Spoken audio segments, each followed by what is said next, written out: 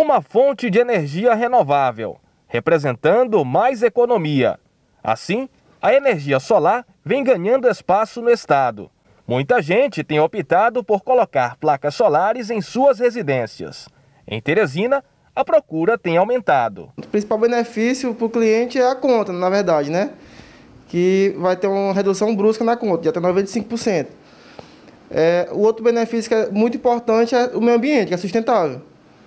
Então, é, hoje em dia o mundo está politicamente correto tudo, então temos que tratar pelo meio sustentável. De dois anos para cá, essa procura tem aumentado muito, entendeu? É, os preços também baixaram muito por causa da produção. A produção está tendo a produção em larga escala na China e outros países, Índia. E como o, a, o preço tem baixado e também o, o governo veio incentivando redução de imposto e tudo, já está che chegando com preço bem atrativo.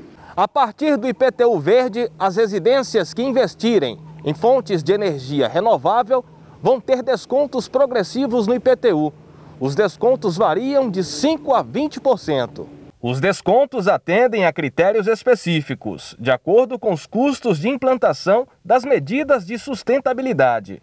Os percentuais são de 5% para o selo bronze, 10% para o selo prata, 15% para o selo ouro e 20% para o selo diamante.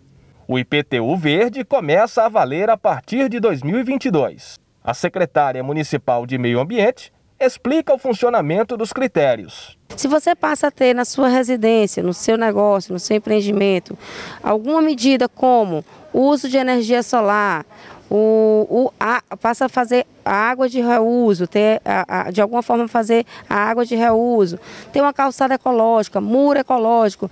No seu empreendimento você mantém árvores preservadas. Tudo isso entra numa tabela de pontuação que aí pode lá estar te gerando é, algum desconto no, na, na, no vencimento do IPTU.